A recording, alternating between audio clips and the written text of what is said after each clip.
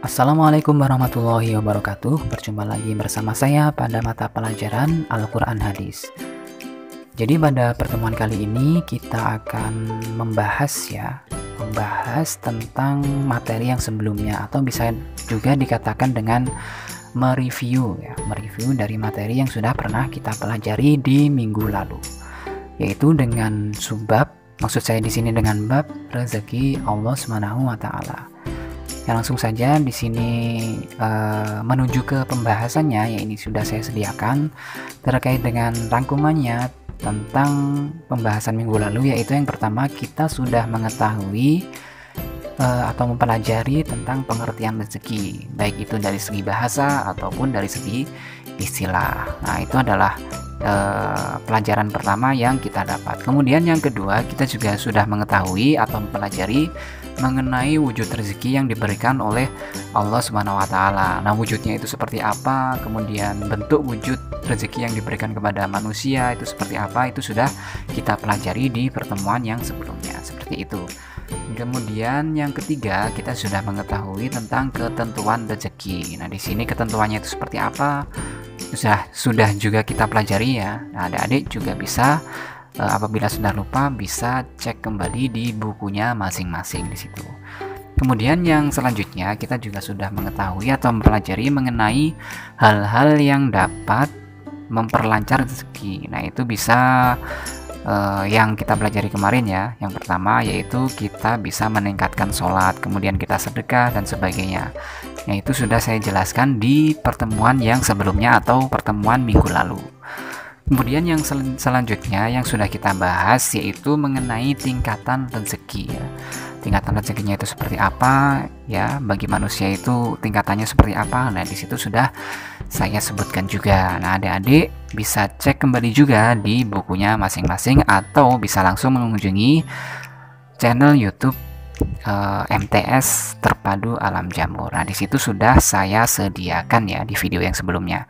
Kemudian yang terakhir ya yang sudah kita dapat di pertemuan minggu lalu yaitu mengenai penerapan surat Al-Quraisy dan surat Al-Insyirah dalam rangka mencari rezeki. Nah, ini penerapannya ketika apa namanya? Di sini penerapan dari surat Al-Quraisy dan Al-Insyirah ini penerapannya seperti apa? Nah, di situ sudah saya jelaskan juga. Nah, itu adalah terkait hmm, materi atau pelajaran yang sudah kita pelajari di minggu lalu.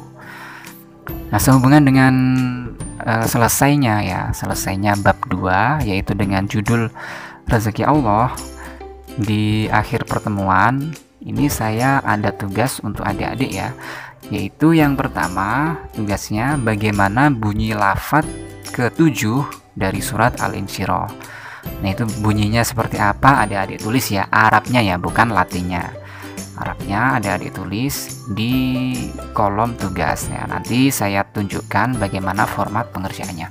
Kemudian yang kedua yaitu tulislah surat Al-Quraisy ayat 3 beserta artinya. Nah, di sini juga adik-adik eh, diperintahkan untuk menulis ya, menulis uh, surat Al-Quraisy ayat ketiga saja.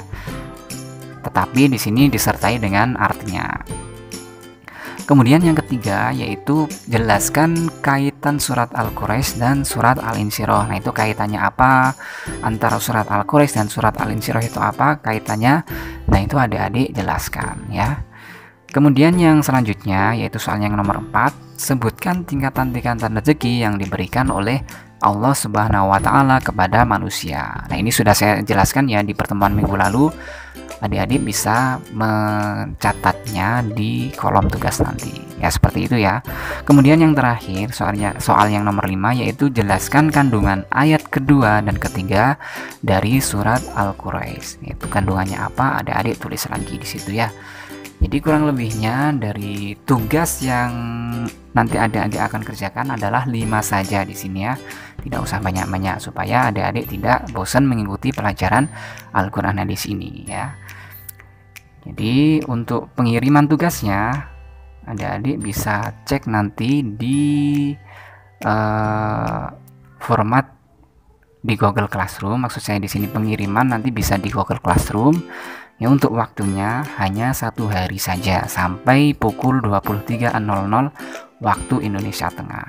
Ya seperti itu ya. Saya tunggu nanti sampai jam 23 dan nanti supaya bisa langsung saya nilai.